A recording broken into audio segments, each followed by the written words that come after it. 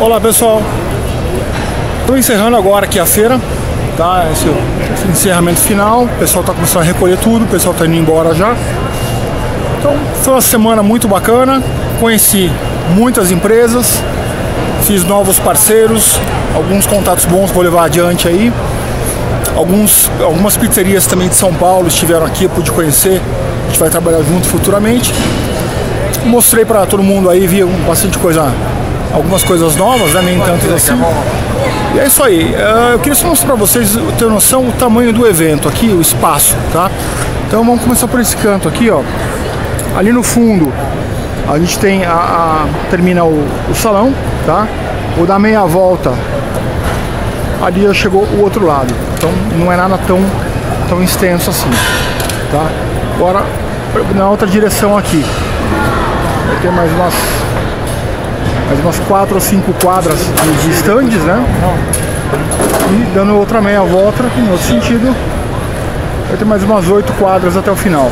Aí vocês podem ver a cortina no fim, onde já termina o espaço, tá?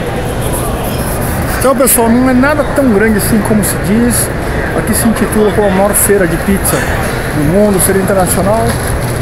Ó, sem desmerecer, não é tudo isso não, tá? A Fispal é maior, a Ficom é maior. E outra, aqui não tem apenas estandes de pizza.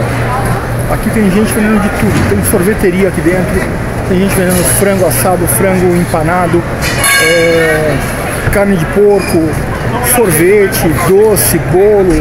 Uh, tem vários estandes com cerveja. Então tem muita coisa, tá? Então não é. Esse espaço todo não é só pizza. Tá? Em São Paulo nós temos lá tipo, pizzaria, ali sim, é 99% é só pizza. Então, apesar de um evento bacana, mas o nosso, é, o nosso é bem superior a isso em termos de, de estrutura e porte. Ok? Agradeço todo mundo que me acompanhou essa semana aí, nos vídeos. Eu pude mandar o que o, o pessoal pediu, tentei mandar tudo que foi possível.